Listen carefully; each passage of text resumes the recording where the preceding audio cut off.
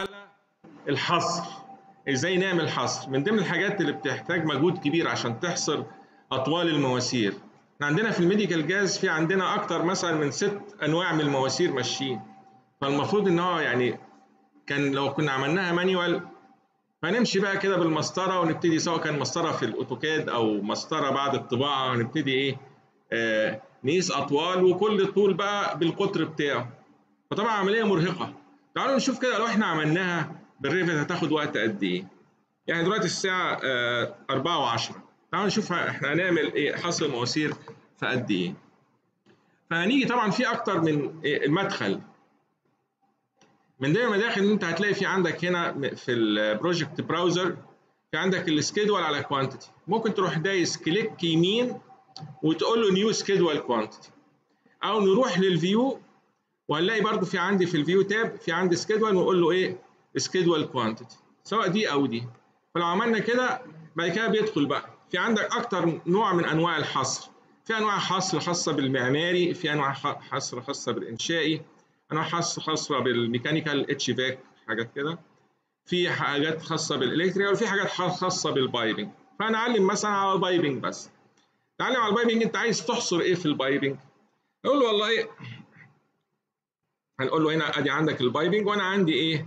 ال pipes طبعا انت في كمان ممكن pipe fitting تعد عندك كام tee وعندك كام كوع وعندك كام كل الكلام ده بمنتهى البساطة. ال pipe وخلي بالك إن أنت شغال new construction يعني إيه؟ يعني على ال plan وأنت بتعمل بتعمل الموديل بتاعك بتقول له أنت في أنهي phase الكلام ده يمكن ما كناش اتكلمنا عليه لأن يبقى ممكن يبقى phase في new building أو phase في في مرحلة ال demolishing أو أكتر من phase يعني في تتابع زمني. يعني زي ما ال Revit شغال في ال 3 dimension هو كمان شغال في ال dimension الزمني.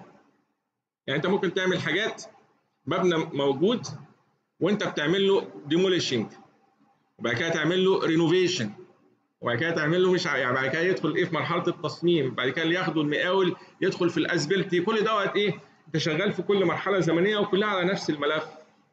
فخلي بالك ان أنت ممكن وأنت شغال تبقى شغال على مثلا حاجة ثانية مثلا existing building بدل ما هو new construction وبعدين تيجي تبص تلاقي إن هو ما حصلكش حاجة.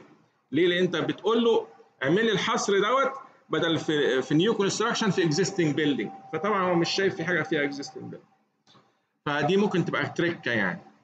هنقول له والله أنا عايز pipe ماشي okay. أدي pipe عايز إيه بقى في ال pipe أنا أول حاجة عايز ال size ال size بتاعي كام؟ فاروح هنا نختار إيه ال size إنه يدخل. شوف لغاية دلوقتي أنت ما عندكش حاجة أنت هنا بتحصرها. لسه ما دخلتش حاجة أنت عايزها. فنروح له لل size أه. عندي ال size وعايز إيه بعد ال size عايز ال length طبعا. دي أهم حاجة. يبقى هنروح بعد كده لل length يبقى عندي size و length يعني أبسط حاجة إحنا محتاجينها. ونقول له okay.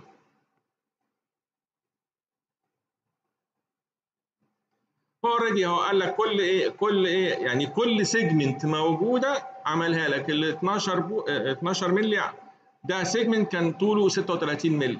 طب أنا مش عايزه بالملي أنا عايزه بالمتر. فنيجي هنا نروح معلمين على ال column بتاع ال length ونقول له ال format.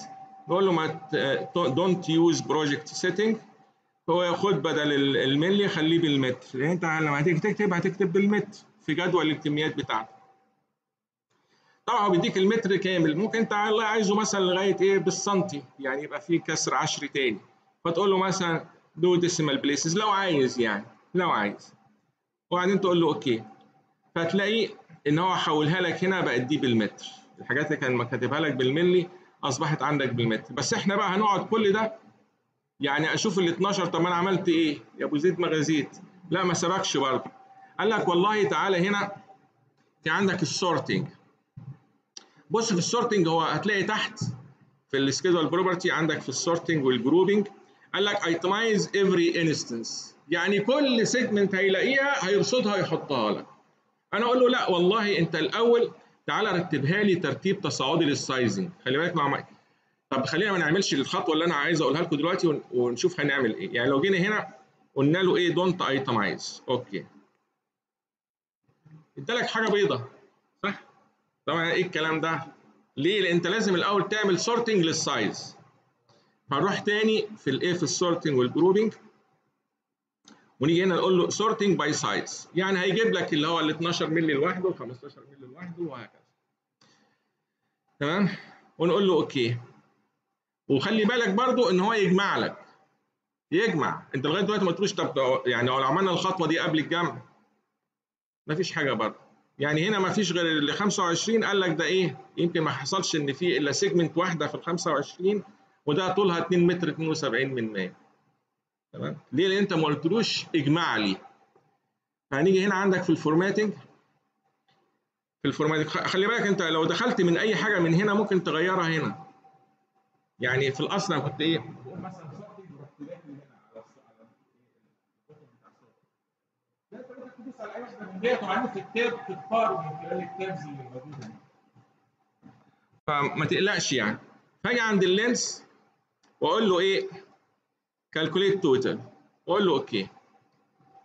راح على طول مديلك يبقى إحنا عندنا ال 12 مللي ده عندك 4131 متر. إيه ال 13 مللي اللي هو إحنا عندنا ما عندناش 13 ماشي. يعني دي تلاقي يمكن مخرج المخرج بتاع المخرج بتاع terminal unit. ممكن هو اللي عمله في كعمله family هو عامله إن هو يخرج 13 يعني يخرج 13 أو يمكن كان عامله بال بالإنش فحوله كده.